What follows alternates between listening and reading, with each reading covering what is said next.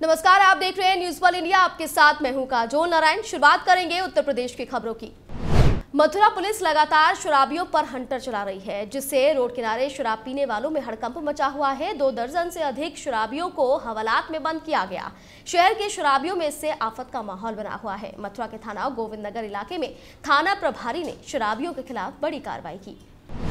प्रतापगढ़ में विद्युत विभाग की लापरवाही से दो लोगों की मौत हो गई। ग्यारह हज़ार लाइन का तार टूटकर गिरने से माँ बेटे की जान चली गई। हादसे में दो अन्य झुलसे हैं। कई घरों में हाई वोल्टेज करंट दौड़ रहा है। ग्यारह हज़ार वोल्टेज तार टूटने से बड़ा हादसा हो गया। माँ बेटे की मौत के बाद परिजनों में कोहराम मचा हुआ है। मौके पर पहुँची पुलिस शव को कब्जे में लेकर पोस्टमार्टम के लिए भिजवाया है। जिटवाड़ा थाना क्षेत्र के डाड़ी ठाकुरदीन के पुरवा गाँव का ये पूरा मामला।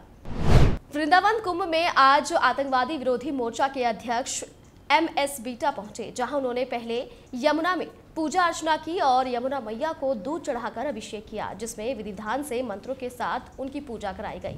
जिसके बाद मीडिया से बातचीत करते हुए उन्होंने कहा कि जिस तरह से सरकार ने कुंभ को भव्य बनाया है, वो धन्यवाद के पात्र हैं और मैं जहाँ भी कुंभ होता है, वहाँ ज़रूर जाता हूँ।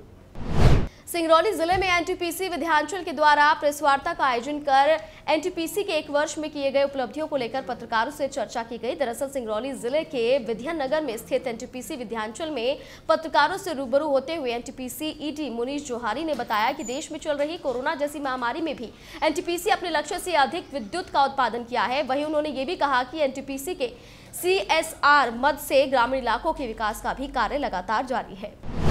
सिंगरौली ज़िले के मोरवा थाना क्षेत्र में उस समय हड़कंप मच गया, जब खड़े 20 वाहनों में से चार वाहनों में अज्ञात कारणों के चलते आग लग गई।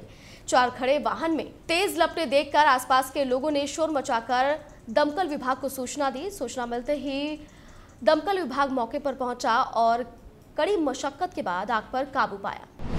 अमरोहा में वाहन चेकिंग के दौरान पुलिस को बड़ी कामयाबी मिली है। चोरी की चार मोटरसाइकिल के साथ दो वाहन चोर पकड़े गए हैं। पकड़े गए आरोपियों से अवैध तमंचा भी बरामद किया गया। देहात पुलिस ने बाइक चोरी गैंग का खुलासा किया। ग्रेटर नोएडा में इंजीनियर से कार लूट के मामले में छह दिन बीत जाने के बावजूद भी पुलिस के हाथ खाली है। पुलिस ने स्केच जारी कर आरोपी की पहचान की अपील की है। बीती चौदह तारीख को सेक्टर सिकमा दो से तमंचे के बल पर ब्रेजा कार की लूट की गई थी। कान्हा की नगरी मथुरा में आजकल आस्था के साथ साथ फागुन की मस्ती की बयार देखने को मिल रही है। शनिवार को वृंदावन में चल रहे वैष्णव कुंभ में रसिया बाबा नगर में श्री श्रीनाथ फागा महोत्सव में भक्तों ने भगवान कृष्ण के साथ यमुना महारानी और कृष्ण की चौथी पटरानी की गोद में होली का आनंद लिया। गुजरात महाराष्ट्र सहित देश के कोने कोने से आए भक्त यमुना तट पर श्रीनाथ जी का इंतज़ार करते दिखाई दिए तो वहीं भगवान श्रीनाथ जी नाव में नौका विहार करते हुए भक्तों के पास पहुँचे और जैसे ही भगवान और भक्तों का मिलन मिलन हुआ, वैसे ही आस्था भक्ति और मस्ती का माहौल बन गया। औरैया में सीओ मुकेश प्रताप सिंह का अपराधियों को लेकर सख्त रवैया देखने को मिल रहा है। सीओ के नेतृत्व में इरवा पुलिस ने शातिर अपराधी को गिरफ़्तार किया। विक्ट कब्जे से एक तमंचा, दो ज़िंदा कारतूस बरामद किए गए हैं। आरोपी जितेंद्र सिंह के ऊपर लगभग एक दर्जन मुकदमे दर्ज हैं।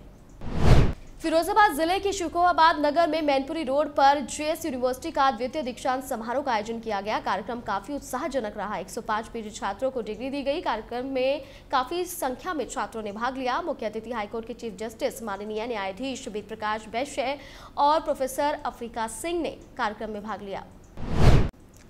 मऊ में पुलिस प्रशासन द्वारा संगठित अपराध अपराधियों तथा उनके गुर्गों के विरुद्ध की जा रही कार्रवाई के क्रम में अंतर्राज्यीय आपराधिक गैंग आईएस एक के सरगना, माफिया मुख्तार अंसारी सहित गैंग के विरुद्ध की गई गैंगस्टर एक्ट की कार्रवाई, जिससे पूरे ज़िले में हड़कंप मच गया।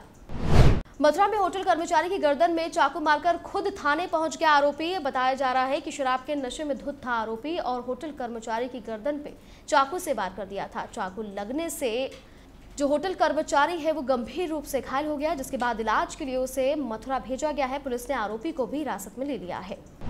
उत्तर प्रदेश के जनपद अमरोहा के नौगावा विधानसभा पहुँचे विधायक संगीता चौहान, जहाँ पर उन्होंने प्राचीन कालिका देवी मंदिर स्थल और गाँव गज स्थल का सौंदर्यकरण एवं पर्यटन विकास कार्य का शिलान्यास किया। यूपी की खबरों में फ़िलहाल के लिए इतना ही। आप देखते रहिए न्यूज़ वाल इंडिया।